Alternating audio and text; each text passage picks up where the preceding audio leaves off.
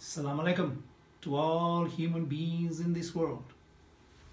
Mighty is a warrior who can win without fighting.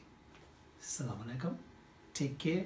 Be good to yourself, your family, and all other human beings.